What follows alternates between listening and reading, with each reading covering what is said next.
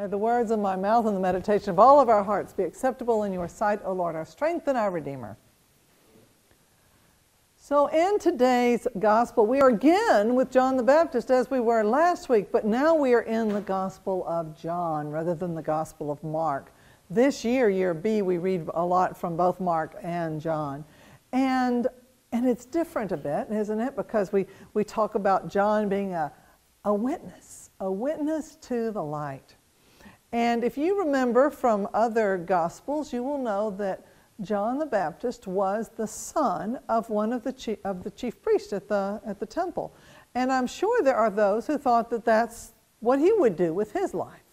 He would be a preacher and he would be the chief priest, he would be in the temple, and instead, he's out at the River Jordan in the wilderness where there's not quite as much comfort. There's more freedom, but less comfort.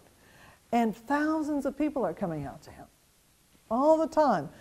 And I'm not exactly sure what was happening at the temple, but they were either getting nervous or they were angry, but something was happening. And they wanted to know who John thought he was. What do you think you're doing out here?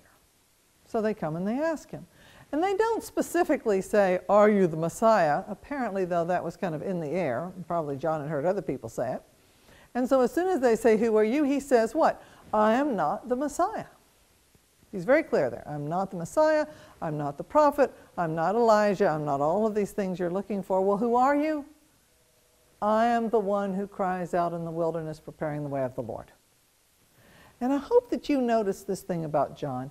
John is really clear about who he is and what his mission is. He is not at all hesitant to express it. He has made dramatic changes in his life, moving from Jerusalem to out by the River Jordan, clear about his call, clear about his message, and uses the freedom that allows for him to be a, a critic of the king. He will later get into great trouble because of that.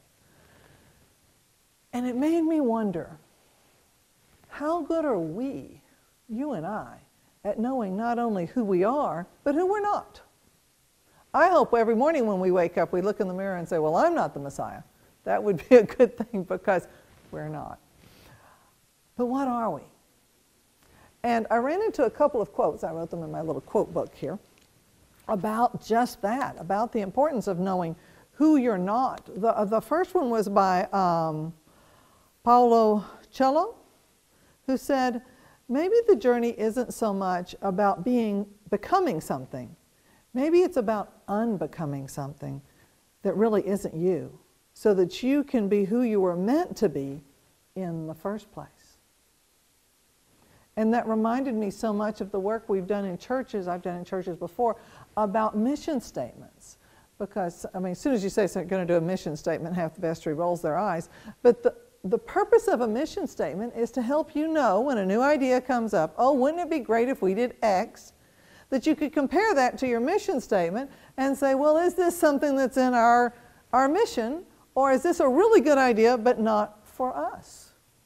And if you don't know who you are and who you're not, then it's very hard to make decisions as to what you're going to do next because the next idea might sound good, but is it for you? And that's a question. The other quote I found was from Howard Thurman. He said, don't ask yourself what the world needs. Ask yourself what makes you come alive and go do it. Because what the world needs is more people who have come alive. And I think that's important too when we're creating our mission statements for ourselves, when we're, when we're trying to understand what it is we're called to do and what we're not called to do. There are a lot of people who want you to do stuff that doesn't give you life at all, that would just grind you down. But sometimes, especially in the name of, of goodness or the name of the church, they'll say, Yes, but we need someone to do it, so you do it. And we come into our ministry not with joy, not with a, an answering to a call, but with this feeling of guilt, of weight. And joylessly, we do the work and things around us die because we are dead inside. And so I'm hoping in this season of Advent, while we're saying to stay awake, that we are waking up to our own souls as well. What brings you life? What is God calling you to? What were you created to be? Remember this you were made in the image of God, which means inside of you is that bright, shining piece of Godness. But many of us, through our lives, have taken on message after message after message that dulled that down. And we started to believe those messages. And we, we took them into our, into our souls, and we took them into our minds, and we took them into our hearts. And we believed them to be true, and we thought they defined us. I was at the Wild Goose Festival a few years ago and sitting ne- next to this man. I'd only recently met him. He was a friend of a friend, lovely man named John, Johnny. And what they asked us to do was take a pen and write on our arms, on our body somewhere, all the negative messages that hurt us. And we did. And Johnny was a gay man and he wrote the word fag on his arm. And it broke my heart the nicest fella in the world, and he had that horrible word written right there on his arm. And then the next thing they asked us to do is to take uh, some sort of, of cloth and wipe that word off, but not from ourselves, but from the person next to us. So I got to erase that from Johnny's arm.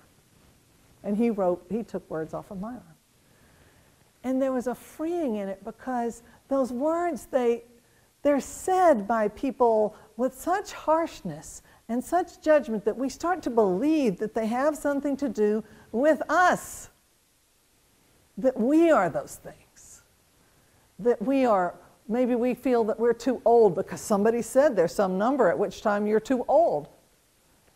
Or maybe you think you're too fat because somebody said that there's a, a way you have to live in the world, and if you don't live that way, well, then you're, you're bad. Or maybe something just about you. You can't be whatever you want to be because you are this other thing. And they've attached words to it. And, and part of what I think John the Baptist tells us in that baptism story is that we need to wash off that stuff. Not only wash off our sins, but wash off all of those negative messages that have nothing to do with us. Somebody else's perception that we have stepped into. And when we think about baptism, let's us also think about washing all that off. Because inside all of us is that precious, beautiful child of God in whom God delights. And sometimes we don't even ourselves know that we, anybody could delight in us because we've taken on all these messages, all of this, this baggage, all of these things.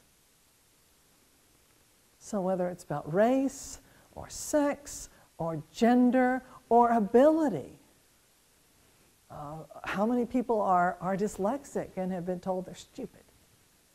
How many people just learn a different way, but they've been cast aside, taken out of the good groups and put in the, the other groups?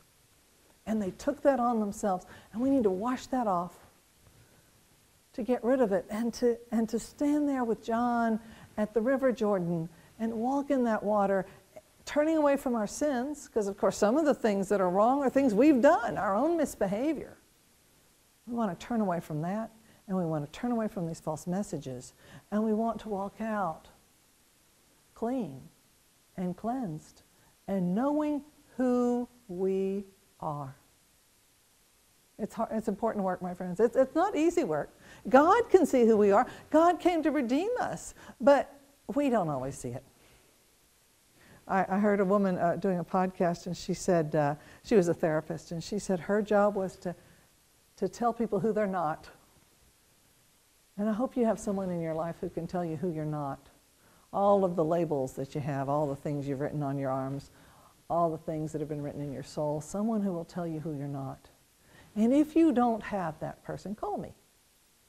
Because I will tell you who you are. You're a child of God. You are beloved.